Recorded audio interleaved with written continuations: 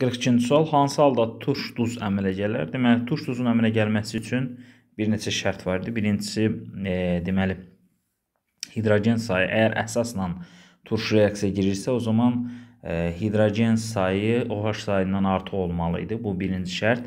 Bir də ola bilər ki, turşu öz duzu ilə, normal duzu ilə reaksiyaya girsin. Bu da ikinci şərt idi. Bu hallarda turş duz əmələ gələ bilərdi və nəhayət deməli turş duz əmələ gətirə bilməsi üçün çox əsaslı turşu olmalıdır. Bu halda turş duz əmələ gələ bilər. Bütün bu şərtləri nəzərə alsaq, deməli bizə deyir əmələ gəlmir. Baxın, ə, doğru cavabımız bu olacaqdı. Burdan turş duz əmələ gələ bilməz. Çünki alınan baxın, ə, bu turşunun duzu alınacaq. Yəni reaksiyanı tamamlasaq olacaq natrium xlorid, üstə gəlirəm H2CO3. Bu e, duz alınacaq ki, burada da gördüyünüz kimi bu turşu e, bu turşu qalığı xlor turşusunun qalığıdır və xlor turşusu da bir əsaslı turşudur. Heç cür turş duz əmələ gətirə bilmir. 43-cü suala baxaq. Hansı halda mis-2 xlorid əmələ gəlir? E, Dəyişəcəklər e, e, mis metalının xlor mühitdə qızdıranda mis-2 xlorid əmələ gələcək. Yəni kuprium üstə gəlirəm xlor 2 alınacaq. Kuprium xlor 2. Bu halda deməli mis2 xlor əmələ gələcək. 44-cü sual ağ rəngli X duzunun üzərinə e, natrium hidroksid məhlulu əlavə edib qızırıqda kəskin iyli qaz ayrıldı. Baxın, kəskin iyli qaz ayrıldı. Alınan məhlulu gümüş bir nitrat əlavə etdi, ağ rəngli çöküntü əmələ gəldi. E, deməli bu parametrlərə görə bizim cavabımız olacaq A variantı. Niyə görə? Baxın, ilk öncə bu duzu üzərinə natrium hidroksid gələk. Yəni NH4 xlor. Üzərinə gəlirəm natrium OH. Bu reaksiyadan alınacaq natrium xlorid. Üstə gəlirəm NH4 OH.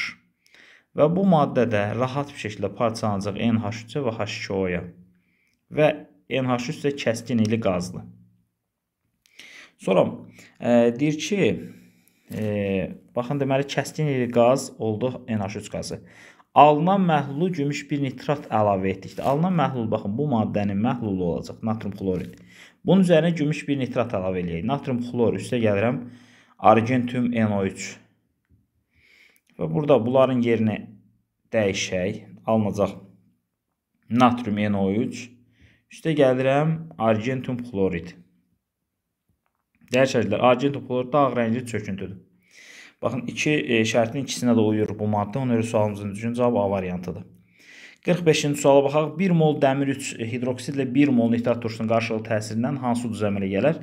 Dəyişəcəklər dəmir 3 hidroksiddə ferium OH3 şəklində yazıldığından 3 dənə hidroksid qrupu var. Üzərinə gəlirəm HNO3. 1 mol HNO3 gəlir. 1 mol HNO3-də bircə dənə H var. 1 mol ə, e, deməli ferium OH3-sə də 3 dənə H var. Əgər bunlar birin birə nisbətində reaksiya girərsə, 1 dənə H, 1 dənə OH-ı götürəcək və alınacaq 1 molekul su. Üstə gəlirəm. 1 ə, e, deməli 3 dənə OH-dan birini H götürdüsə, yerdə qalacaq ferium OH2. Belə qalacaq. Və bir də NH3 də gəlib, daha doğrusu NO3 də gəlib buna birləşəcək. Maddəmiz olacaq, baxın bu Ferium OH2 NO3.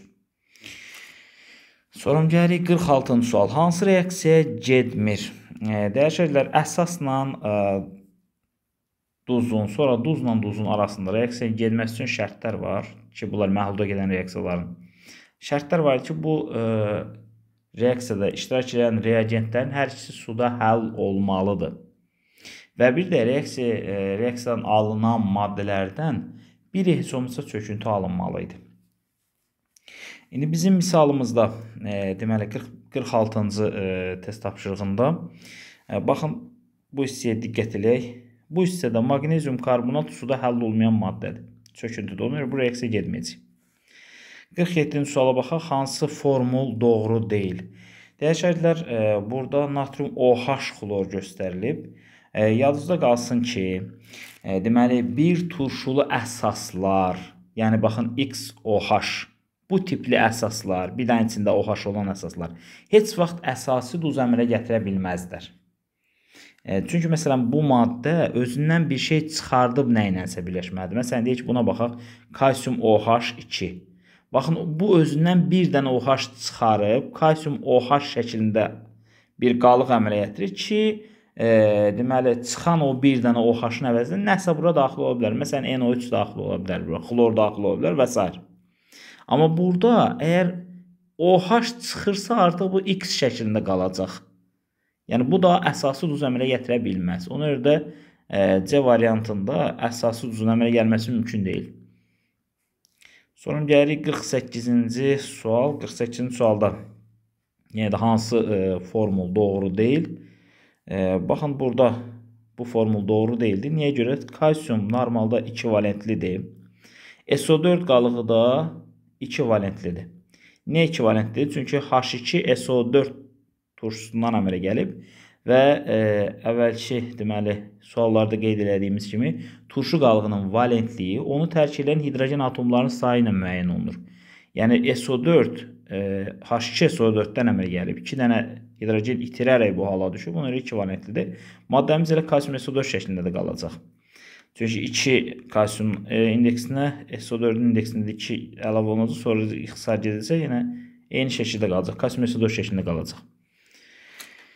Deməli, sonra gəlirik 49-cu suala. Hansı əsaslar həm normal, həm də əsasi duzlar əmələ gətirir? Bu bayaqları bunu qeyd elədik. Dəyərli şagirdlər, əgər əsasın tərkibində OH bir neçə dənəsi, yəni çox turşulu əsassa, bu əsası duz əmələ gətirə bilər. Amma bir turşulu əsaslar, yəni baxın, bunlar əsası duz əmələ gətirə bilməzlər. Ona görə də 49-cu sualda düzgün cavab olacaq D variantı, yəni 1, 2 və 4. 50-ci sual. Hansı reaksiya tənliyi doğru deyil? Reaksiya tənliyində baxın C variantında reaksiya tənliyi doğru deyil. Niyə? Çünki aktivlik sırasında kuprium sinkdən daha sağda yerləşir. Ona görə də daha passivdir və bu e, sinki heç vaxt sıxışdırıb çıxara bilməz. Ona görə sualımızın düzgün cavabı C variantı olacaq. Gələk, deməli, 51-ci suala. Hansı reaksiya sulu məhlulda baş vermir? Düzgün cavab B variantıdır. Bu baş verə bilməz. Niyə görə? Çünki əgər biz, məsələn, deyək ki, təsəvvür edin bir qabdır. Bu qabın içərisində ferium 2SO4 3 məhlulu var. Məhlul nə deməkdir? Yəni burada su da var. Mən əgər bura kalsium metalını daxil edərəmsə, bu kalsium metalı birinci burada olan su ilə reaksiya daxil olacaq. Yəni kalsium isə yarım. HOH alınacaq buradan kalsium OH 2 dəfə üstə gəlirəm H2. Sonra bu kalsium OH2 reaksiya daxil olacaq bu maddəyə. Yəni kalsium OH 2 üstə gəlirəm ferium 2 SO4 3 dəfə. Buradan da alınacaq bunların yerlərini dəyişsək. Kalsium SO4 üstə gəlirəm ferium OH 3 çöküntüsü. Dəyərli şagirdlər, yəni e, demək istədiyim, e, gördüyünüz, baxın, bu reaksiya gedə bilməyəcək. Kalsium çox aktiv olduğundan birinci növbədə su ilə reaksiya daxil olacaq. Gələk 52-ci e, suala. Hansı sırada olan metallar polimbum nitrat məhlulundan quruluşunu çıxarır? Burada yenə də aktivlik sırasına əsasən bu e, məsələni həll etməliyik. E, deməli, e, polimbumdan daha passiv olan metallar Kuprium, hidragium, argentum, aurum bunlar polimbumdan daha passivlər. Ona görə onu çıxara bilməzlər. Həmin metalların verildiyi variantlar bir-bir əliyək. A variantı gedəcək çünki burada aurum var. Sonra e, B variantı gedəcək çünki kuprium vardı burada. C variantında hər üç metal daha passiv metallardır. Sonra e, Y variantında hidrogen var. Ona görə bu pasiv metallar sırasına aiddir. Amma sink, ferrium və maqnezium plumbumdan daha aktiv olduğu üçün onu sıxışdırıb çıxara bilər. Eyni məntiq 53-də də var. E, gəlirik 54-cü suala. Natrium OH e, həm natrium OH həm də xlorur turşusu ilə reaksiya daxil olan maddəni göstərir. Bu Y variantında göstərilmiş maddədir. Kuprium OH xlor. Baxın bu maddə. Üstə gəlirəm həm natrium OH-la reaksiya daxil olacaq həm də daxil olacaq H xlorla. Deməli, natrium OH ilə reaksiya daxil olarsa, burada alınacaq natrium xlorid. Üstə gəlirəm kuprium.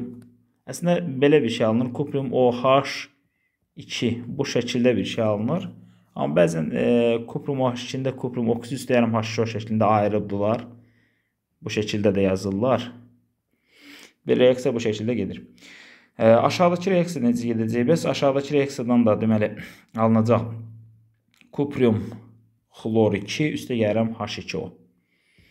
Bu şəkildə gedəcək reaksiya. Sonra gəlir eyni məntiq 55-ci sualda da var.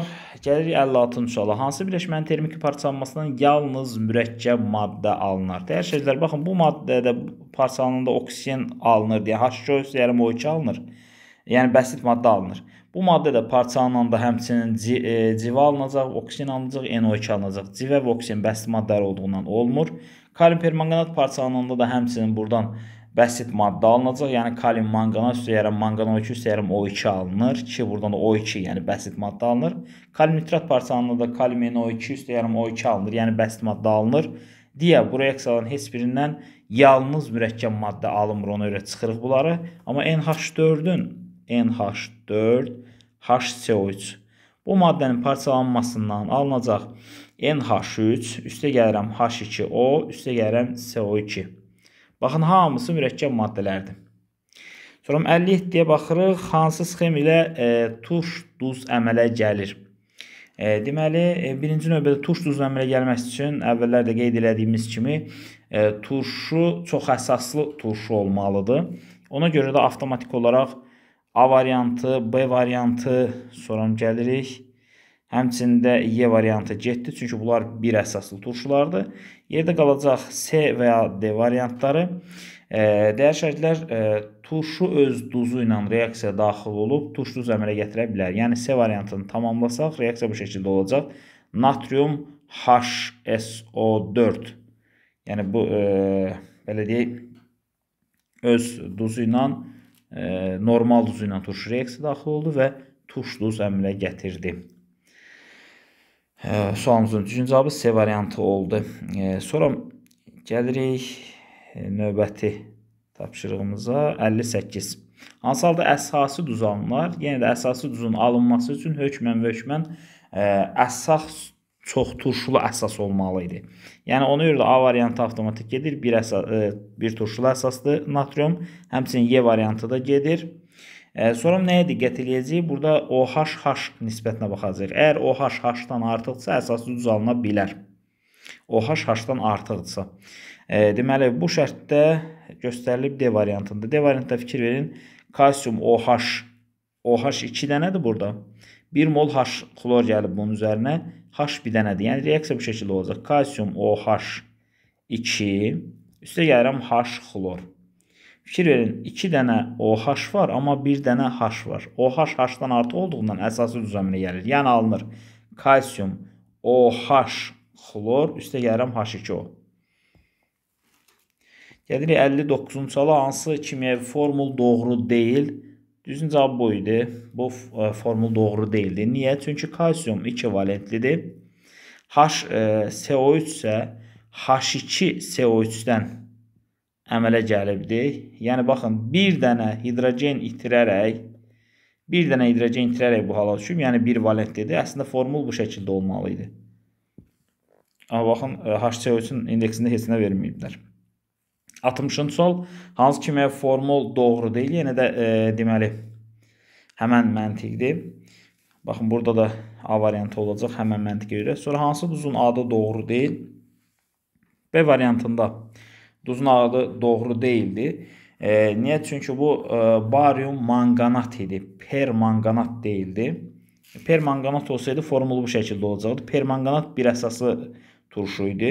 Yəni olacaqdı barium mangan O4 2 dəfə. Formul bu şəkildə olmalı idi əgər permanganat olsaydı.